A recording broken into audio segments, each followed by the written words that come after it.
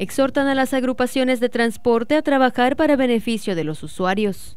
Vimos agresiones pues a todas luces de líderes, por lo menos solapando o promoviendo este tipo de acciones de parte de, taxistas, particularmente el líder del Frente Único de los Trabajadores del Servicio Volante, pues desgraciadamente parece que está alentando este tipo de acciones al afirmar que eran necesarias o que eran cosas que tenían que pasar. Por lo que el diputado local del PAN, Elías Lisha, mencionó que trabajarán a fin de legislar buscando el bien común.